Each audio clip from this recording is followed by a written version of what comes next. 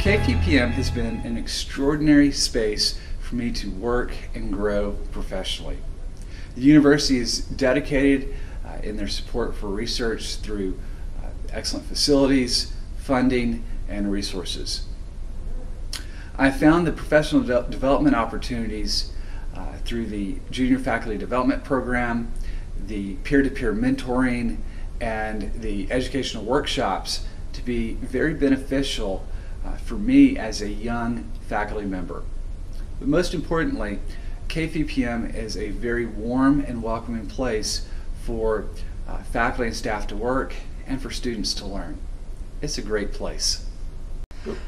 I suppose in many ways life for faculty at KFUPM is ideal because not only do we have the brightest students from the kingdom applying to our university, but also we have excellent teaching facilities and also the program that we have here for the undergrads is quite varied because they get to do natural sciences, engineering, IT, management, and so on.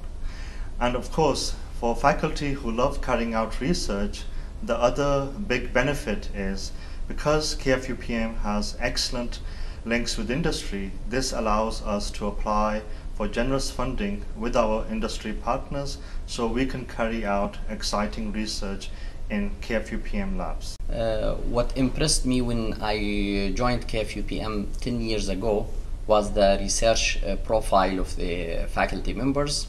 Uh, when uh, I joined KFUPM here, I applied for uh, funding uh, from internal and external sources, and with the funding received, I was able to establish uh, a lab specialized in biocatalysis.